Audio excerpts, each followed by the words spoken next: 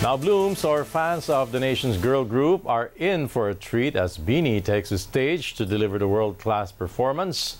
Here's a look at day one of the sold out Grand Beanieverse concert. While the nation's girl group was hard at work in making sure the highly anticipated Grand Beaniverse will be unforgettable, so were Blooms or fans of Beanie.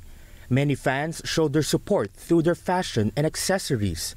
Blooms undoubtedly put a lot of thought and effort in completing their look. For Michael Mabalo, he drew inspiration from the hit song Salamin Salamin. It gives me ano, joy lang talaga. Parang nakaka-enjoy lang kasama yung ano, fans.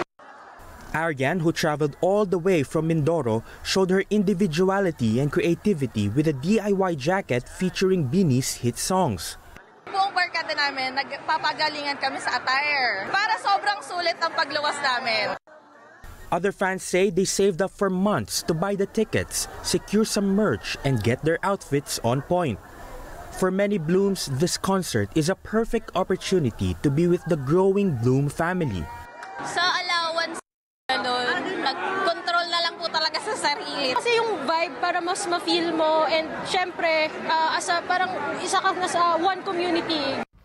Of course, concert souvenirs and swag are a must, ranging from banners, cards, and light sticks, all meant to convey their love to the members as they perform.